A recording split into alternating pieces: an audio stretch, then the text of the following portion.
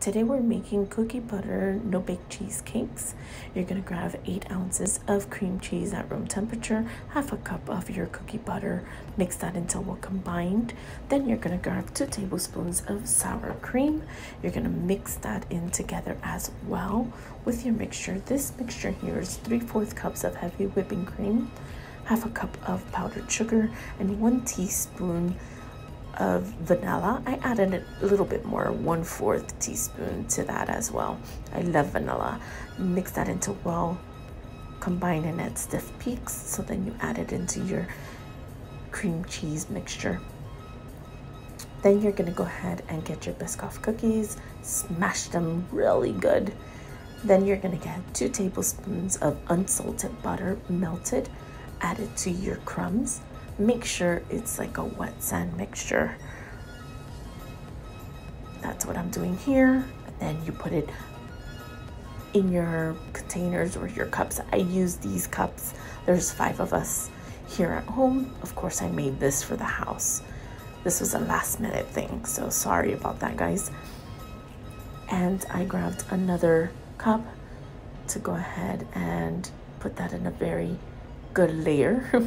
you don't want all that crumbs and everything all over the place. Then the mixture, I put it in a piping bag and I went ahead and I piped it into the cups.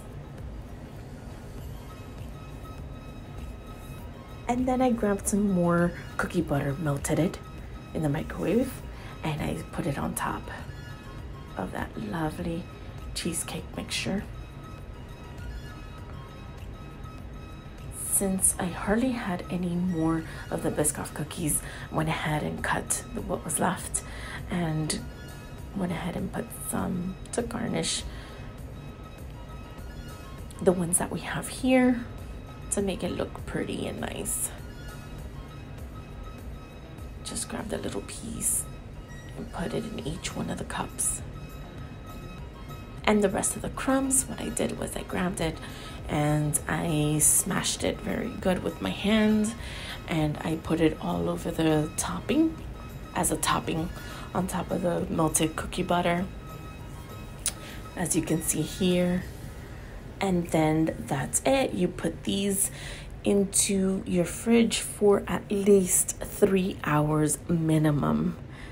Overnight will be best i hope you guys enjoy. They're delicious